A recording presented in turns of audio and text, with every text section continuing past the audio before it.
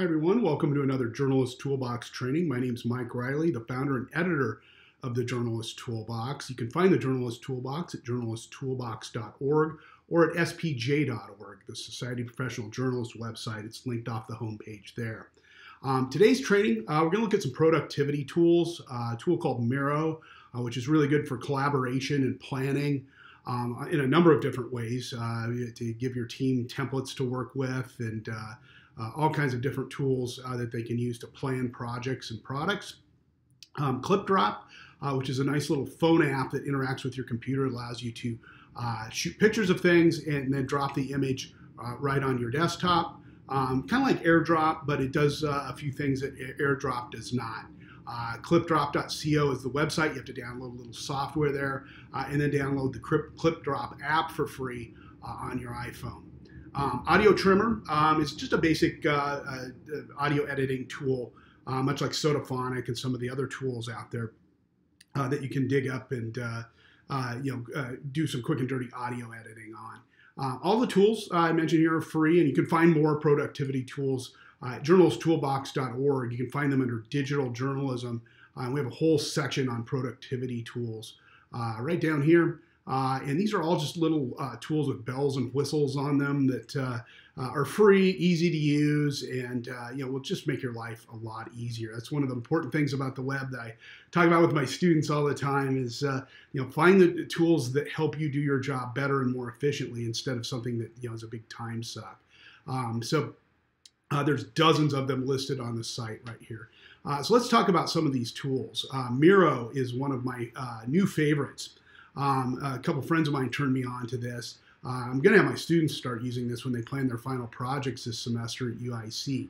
Um, this is a free tool. Um, it does have uh, paid plans with it, uh, but the free tool works just fine. Uh, the paid plans work well for a large organization, maybe where you want to separate your teams out uh, and only certain teams can see certain planning boards. Um, uh, you're really, for my intents and purposes, you know, I don't care what team looks at what uh, board, you know, that's fine if they want to check something out uh, that's a little different. You can launch a new board here. Um, it gives you some of the more popular templates here, or you can go here to show all templates. Um, you can invite members up here at the top, um, and it gives you several different types of template groups here. Uh, you know, building blocks, the, the ones that I find more uh, helpful are mapping and diagramming, great for website planning. Um, uh, you know, things like a site map, you know, a little wireframe for your uh, website, uh, solution trees, all kinds of different little, uh, uh, you know, app wireframes, which you can show the different uh, screens for your for your app, and you can all go in and edit that template. Um, all you have to do is send them a little email invite. Um, I'll show you that in a minute. Um, strategy and planning is another really popular one. Um, think of this as kind of like sticky notes, you know, you know, uh, team agenda, uh, uh, canvas, things like that, visual story map, um, a timeline. Uh, you know, if you're planning out a project, you have a timeline. Uh, you know, really good little uh, handy chart to have, and it's already in place for you, and you can edit the colors and things like that. Um, ideation and brainstorming is another really good set of templates. it's got some other story board templates in there as well. Um, uh, and so is meeting and workshops. A um, little bit more basic in, in here. Uh, you know, you can do like little retrospectives and uh, things like that. Sticky, little sticky note packs where you can just kind of uh, stick the ideas up on the wall. Uh, you know, if you're doing a quick brainstorm and maybe you're doing it over Zoom or something like that. Um, and uh, you know, you can really pull together ideas very quickly. So uh, I'll open up one of these and just kind of give you a feel for it. Let's look, take a look at the site map. Um, I wish I would have had this a few months ago, and I'll create a shared board here. Uh, and uh, it doesn't give you the offer to, to go in and, and uh, purchase a plan. Um, yeah, if you want to make it limited to just one team. you know, as you can see, you can lock this at any time if you don't want other people making changes to it. Typically, you're going to leave it unlocked and open. Um, and you can also uh, export these to Excel spreadsheets. Uh, you know, if you want to, uh, you know, finish, it's finished and you want to send it to the bosses, uh, you can do that type of thing. Uh, the usual tools you'll see over here, you know, adding text, adding another sticky note. If you know you want to add one over here, uh, you can add it. You can change the colors. You know, it's highly editable um, on all of these.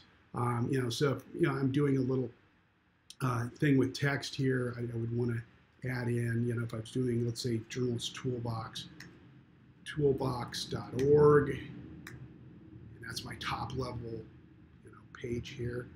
Um, I can move this over and slide it around, reposition it in the box. And then let's say I had some category pages underneath uh, that I wanted to add. You know, I could go ahead and list them here. Um, and I could do um, my data journalism page, data.html. Uh, and then underneath data, I would have you know a subcategory. You know, we used to do these out on marker boards. We'd uh, uh, do all our site planning on marker boards. So underneath that, I would have a charts page. I would have a uh, maps page. Um, And then I could keep adding uh, down here. I can add lines, add shapes, add sticky notes as I go. Um, again, it's shareable, um, so I can uh, click up here and invite any collaborators at any time. Uh, you know, I can copy the link here, uh, and uh, uh, you know, basically anybody on my team can edit it.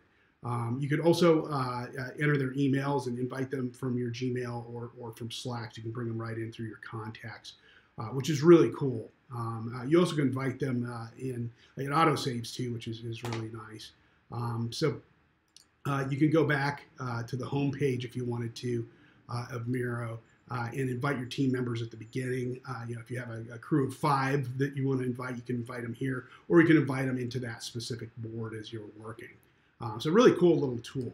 Um, this next tool is a tool called ClipDrop. if you go to clipdrop.co, you can take this tool uh, and you have to download it. Uh, you have to download the software. It's a pretty light download. It'll just take a few seconds. Uh, and then you have to open up the app on your phone. Uh, and as soon as you have that app open, you can take a photo of something. It's got, uh, you know, it's very intuitive uh, as far as framing the photo. And I've got a little stuffed baby Yoda on my desktop that I'm going to shoot a picture of. Cute little bugger here. and once he goes into the app, it drops the background out, which is really nice. Uh, now I'm going to go open up ClipDrop on my desktop. As you can see, I've clipped some things before here. Uh, and I can go in and there's a little button in the upper left-hand corner of my phone app uh, that has share to computer. It's just a little computer with a little uh, Wi-Fi logo on it. Uh, you just tap on that and point it at your computer screen. Um, and it says, you know, hold down the capture toward your computer screen to drop. You click OK. And then it gives you a little button to click and it'll drop it.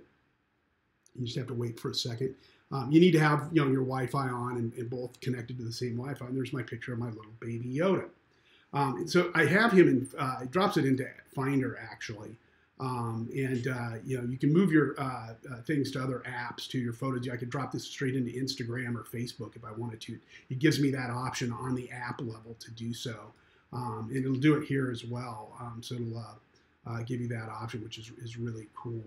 Um, and then it drops the little the, the, little guy in here as well after a few seconds. So uh, you know there he is right there. He just popped in. Um, so uh, you have your little uh, uh, uh, baby Yoda there. I had a plant in there too. It's kind of cool how it drops the background out. too, which is a fun little feature of it. So that's ClipDrop. You know, you can download it then and edit it if you need to or something. Um, you know, it works kind of like AirDrop, only you know the sharing to other apps right away and things like that dropping out the background. Few, it has a few other features uh, that, that AirDrop just uh, just doesn't have. Uh, my last one uh, that I want to show you is uh, audio, audiotrimmer.com. all of these links will be in the description of this video, um, so you don't have to worry about you know not remembering the links or anything like that. Um, I'll have all the links in the description of the video. That you can just click on them; they'll be hot links.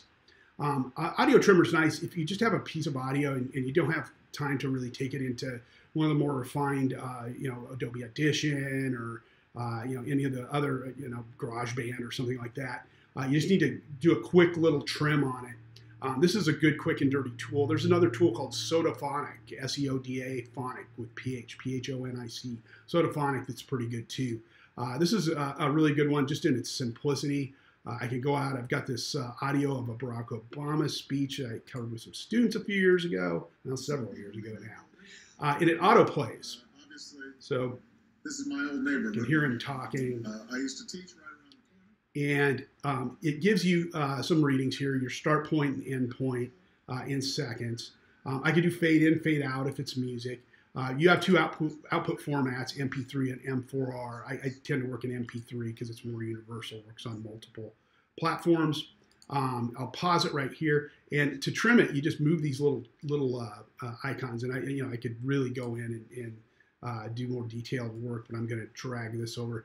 Uh, Obama's speeches are good to teach students to edit on uh, because he has long pauses. Notice the waveform has these big dips in it. Those are the long dramatic pauses he takes in his speeches. And, and uh, you don't want somebody like me that talks real fast and tends to crowd my sentences together. You want somebody that takes long pauses. Oh, those are great to edit. Uh, so I've just you know done a little trim here. This is uh, roughly you know uh, just under two minutes uh, of time. Starts at about five seconds and ends at 114 seconds. So uh, it's just under two minutes long. Um, and I'll hit crop and then it gives me a download option here. And then you have to look at the fancy ad. And then after a few seconds, it'll drop right down into your downloads folder. Uh, and you'll have uh, your audio uh, right in here. Um, so there it is. Okay, so uh, that's Audio Trimmer. And again, um, so really cool, cool little apps here. I kind of uh, spread uh, to a lot of fields here. Uh, Miro is a nice uh, project planning app. ClipDrop to drop uh, images and, and, drop their backgrounds out right into your computer, right over Wi-Fi. Um, audio trimmer for a quick and dirty audio trimmer. And again, use the Journalist Toolbox, journalisttoolbox.org.